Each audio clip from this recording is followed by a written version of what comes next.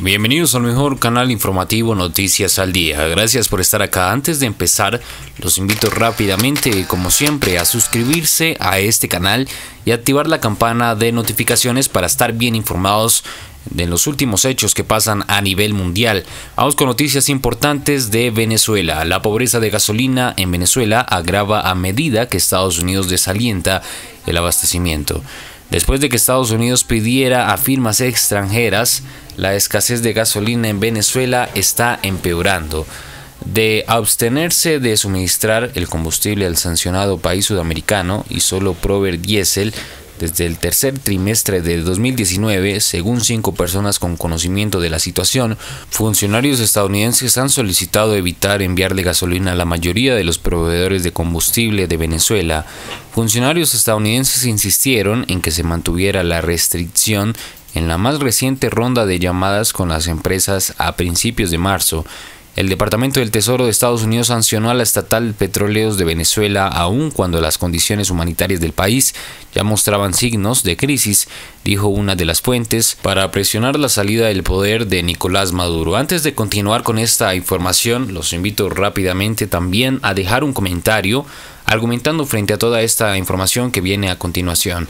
Dale me gusta también para apoyar este equipo investigativo. De antemano muchas gracias y continuemos con esta noticia.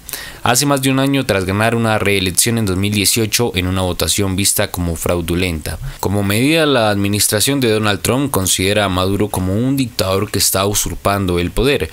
Un grupo de firmas extranjeras, incluyendo la italiana Eniespa, la española Repsol SA, a la estatal rusa Rosneft y la india Reliance Industries siguieron suministrando combustibles a PDVSA que están permitidos por el Departamento del Tesoro estadounidense. Como parte de intercambios por petróleo, como parte de los swaps por crudo venezolano, recalcaron el mensaje de no gasolina para Venezuela, dijo la fuente, y agregó que su compañía desde septiembre solo ha suministrado gasoleo y diésel al país miembro de la OPEP.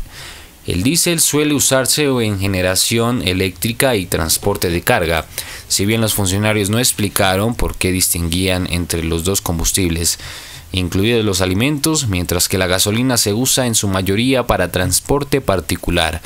Washington ha estado bajo presión por parte de las Naciones Unidas y legisladores estadounidenses con la epidemia del coronavirus causando estragos en todo el mundo, para que relaje las sanciones a países como Irán y Venezuela, facilitando con ello el envío de bienes humanitarios. Maduro era el único responsable de la crisis humanitaria de Venezuela, así lo dijo un alto funcionario de la administración de Donald Trump, y que Estados Unidos continuaría su campaña para cortar sus fuentes de oxígeno. ¿Qué opinan ustedes de esta noticia? Nuevamente los invito a suscribirse, a activar la campana de notificaciones si quieren estar bien informados. Recuerden compartir a través de redes sociales para hacer viral toda esta información. Es muy importante que esto lo sepa el mundo. Deja tu comentario y tu me gusta. Gracias por estar acá. Esto es Noticias al Día.